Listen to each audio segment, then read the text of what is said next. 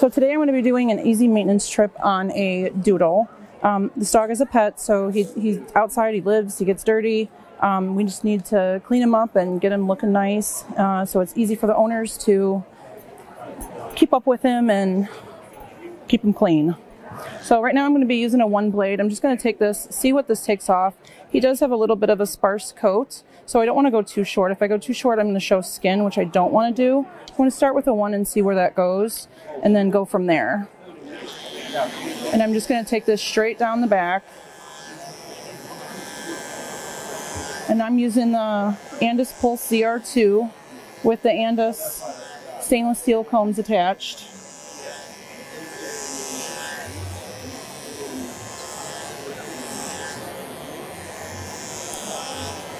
With him, I'm not going to be leaving legs longer like I normally would.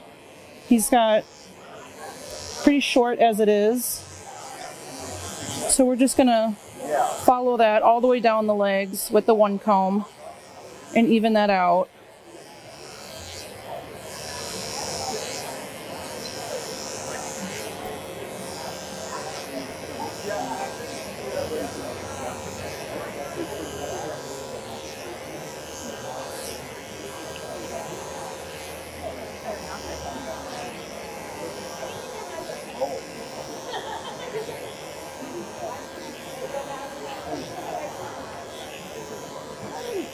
All the way down the body, under the belly here.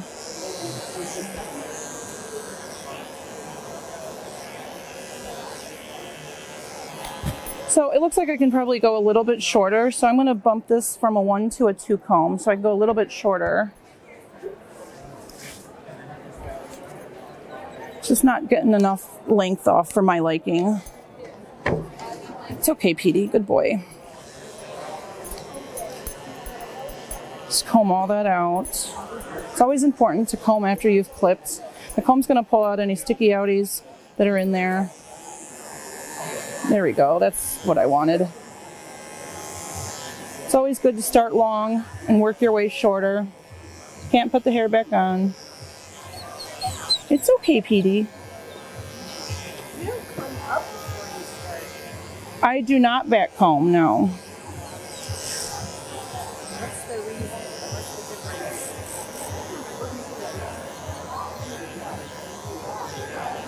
It's okay, Petey. I'm just to follow this blade down the legs. It's okay, Petey. All the way down.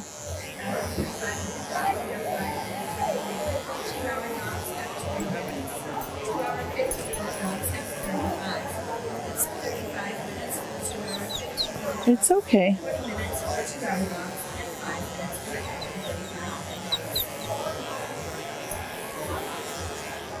Get it all nice and clean back here. By taking the comb attachment down the legs, it's going to save me a lot of time, especially in the shop. Uh, I'm not going to have to do all the extra scissoring.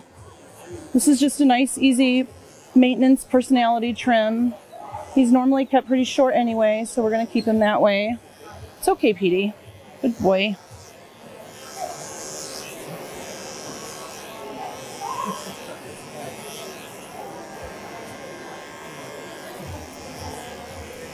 Typically, with a lot of the doodles that I do, is I do take the same comb attachment that I'm using on the body and I'll zip it down the tail just slightly. It helps keep the tail mat free, keeps it cleaner, and they don't usually come back in the shop six or eight weeks later with a dirty rear end from not being cleaned. It's, don't get poop or anything stuck back there.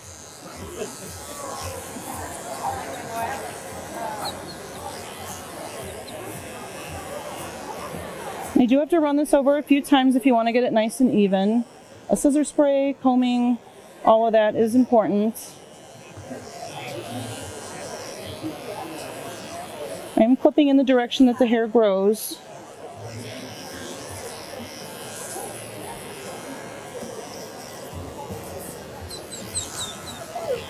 Oh no.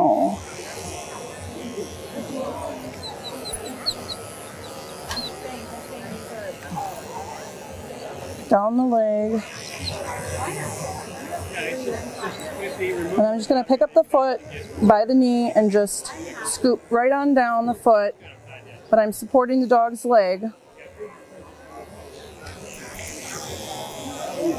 I'm getting all that hair off the hock.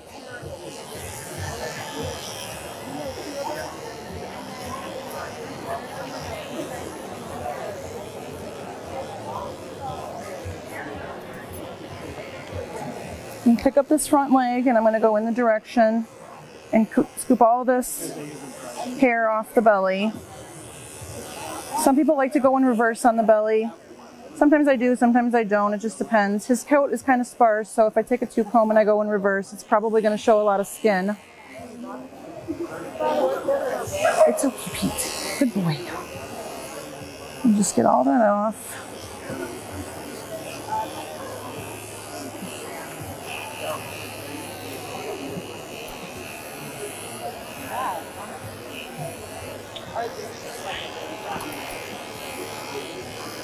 On pets, I normally will take the, the blade and start from just behind the occiput, which is right here at the top of the skull. I'll take my blade and I usually go down a couple finger lengths and that's where I'm going to start that. I want to leave some of this hair to fill so I can use it when I'm scissoring the head. So I to take that too short up there. So we're going to go just a couple finger lengths down from the top of the head and just scoop all of that off.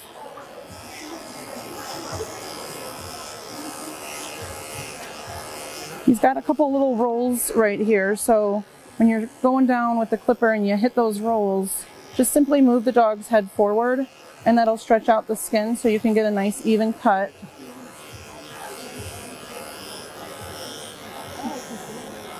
And straight down.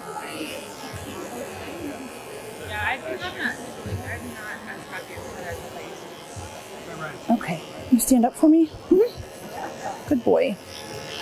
Usually move the ear out of the way and I'll skim just around here.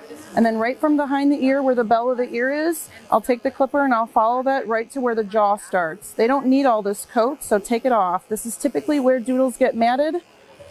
So if you don't want to get them in next matted, take it off. They don't need it. And usually the owners don't even notice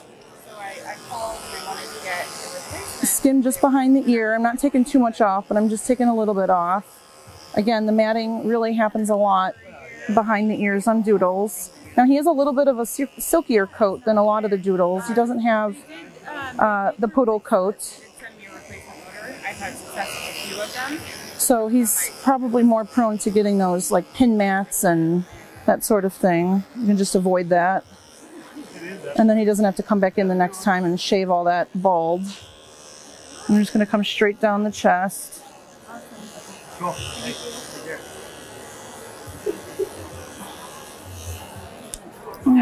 All right, right Petey.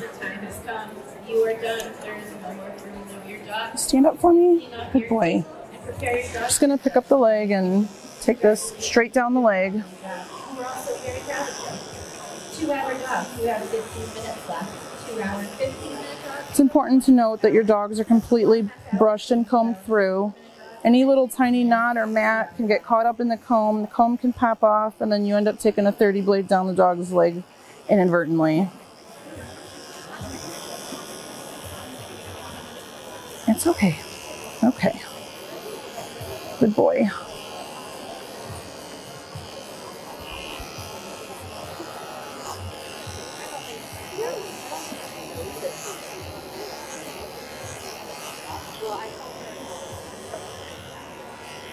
I'm just scooping in the armpit hair, not digging in there, I'm just getting the top hair off. And go back and thinning shear that out later.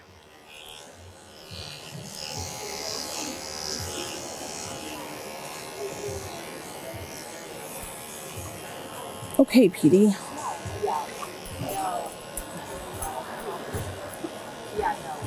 After I'm done with all of that, I will take my scissor spray and I will spray the coat, comb it through, and redo the work just to make sure that I got any flyaways that are stuck in the coat out. Scissor spray is very important.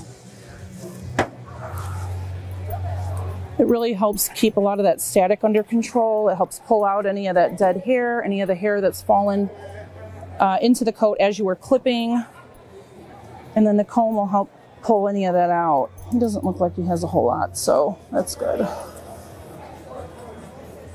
And then I'll just run that blade right over him again just to get any excess hair that was stuck in there off.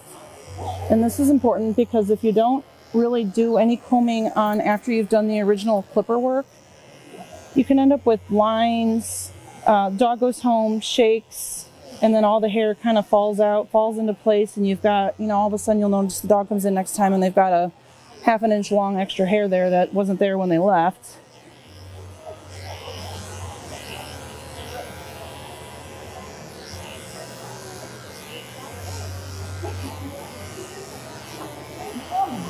I'm happy with this length.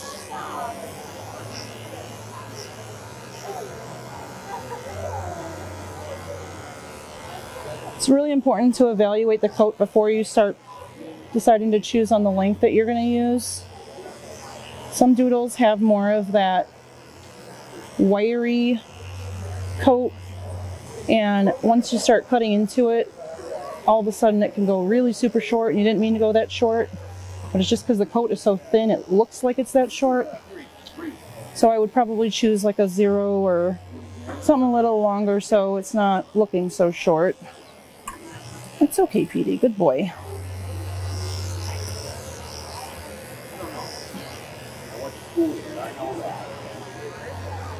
We're just going for an easy, low maintenance trim.